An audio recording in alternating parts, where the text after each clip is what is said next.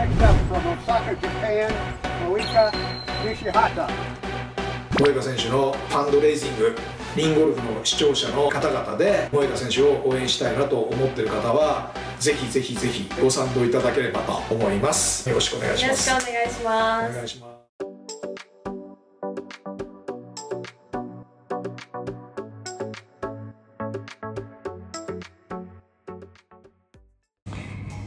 皆さんお疲れ様です。えっと、久しぶりの動画になるんですけど、えっと、今は12月の20日で、えっと、私は、えっと、ホテルにいるんですけど、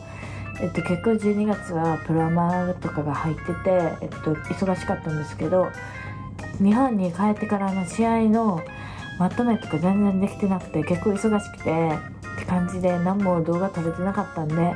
ちょっとここで一発まとめようと思います。えーっと、まず日本帰ってから3試合ステップに出て結構最初2試合はあんまりアメリカから帰ってきた状態でいい状態ではなかったんですけど結構試合の前の日に帰ってきたりとかしてたんで結構大変やったんですけどその中で結構アンダーでプレーできて結構15位15位ぐらいもうちょっとちょっと覚えてないですけど10何位やって、まあ、自分の中では、えっと、今年ステップその4試合かなぐらい出て全部トップ20以内に入っとったんで結構それって確率結構平均ストロークとか結構いいと思うんですよね。って感じですごいいい感じの流れで来ててなんか皆さんも知ってると思うんですけど、えっと、今年の目標は日本の QT だったんで、えっと、アメリカの QT がなくなったから。ほんでなんかで試合の前最後の京都レディースっていうのが毎年常用であるんですけどからそれがちょっとアップダウンきついコースであんま得意じゃないんですよね。上りやばくて。でやばいなと思ったら案の定めっちゃショット悪くて。で予選落ちしたんですけどそれでその次の週に QT やって4日間のファーストで20人しか飛んないんですけどでなんかえっと私はえっと1日目は40位ぐらい。で2日目は中止になあそう2日目中止になって雨で。で3日目は結構盛り上げて15位ぐらい入って最終日に普通によく来てたのに17番ホールのパー3でバンカー目の前になってトリプル打って落ちるっていう。それで落ちたみたいなまあパーパーやって生きとったんですけど。で落ちちゃってえっと簡単に言ったら QT ランキング的には来年はえっとステップアップのまたえっと今年と同じステップアップの順位になっちゃうんでそうですね。私もすごい考えてなんかまあエプソンはシード取ってフルで出れるんでなんかやっぱここでまあステップ出てもいいんやけどまあ自分の目指してるものじゃないしって思ってえっとこっち来年もまあお金が結構厳しいねんけど、まあ、エプソンに行こうかなと思ってエプソンに行くことに決めました。でそうですね。一応来年の目標的にはエプソン1勝と、まあ、トップ10に入れたら一番いいねんけど、まあ、一応目標は35でファイナルからっていうのを目標にしてあとはあと日本の QT も結構頑張りたいなと思ってるんで帰国のタイミングとか結構考えてまあ試合とかステップとか全部出るんじゃなくて選んでいってもいいんかなみたいな。感じのあれもあるしまあでも今年1年をまとめたらやっぱりエプソンに出てすごい自分のゴルフのレベルとかもすごいレベルアップしたなみたいな感じの自分の感覚もあるしあったけど結局 QT でうまくいかんかったら何も意味ないんですけど って感じで結構なんやろ辛い1年になったけど、まあ、QT が全てなんでね。でもまあもう言ってもしょうがないんで、えっと、来年はどういう風に自分のゴルフを組み立てていってレベルアップさせていくかみたいな方にちょっと目を傾けていくかなって思ってるんでって感じでえっとそうですね今年はあんまり良くなかったんけど結構エプソンのトップ10にも入れんかったし11位で終わって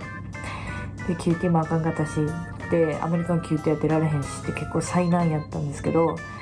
まあでも自分の中で一番なんか変わったなって思ったのはプロゴルファーやっとって4年ぐらい18からプロになって4年間ずっと自分っていう存在に自信がなくてプロになったけどずっとステップ回っててまあ言うたらなんか落ちこぼれみたいな感じでずっと周りからも扱われとってなんか自分でも自分のことをなんか落ちこぼれやなみたいな感じで思っててすごい自信なかったんですよね。でなんか人になんか知らん人に「いや私プロなんですよ」とか言うのとかもすっごいなんか嫌で「いやプロやけどレギュラーツアーとか出てないし」みたいな感じですごい何劣等感みたいな。え自分なんていう自己嫌悪みたいなのがすごい私ずっとそれに悩まされとってもう何年も何年も何年も悩まされとってすごい自分に自信がなかったんですけどアメリカ行ってからなんか1年間やりきってすごい自分に自信が持てるようになったんですよね。自分っていう存在に。あ私こんなにできるんやみたいな。まあ別に大したことやってないんだけど。まあ結構環境がそうさせるって感じですかね。だからなんかそうですね。それが一番私にとって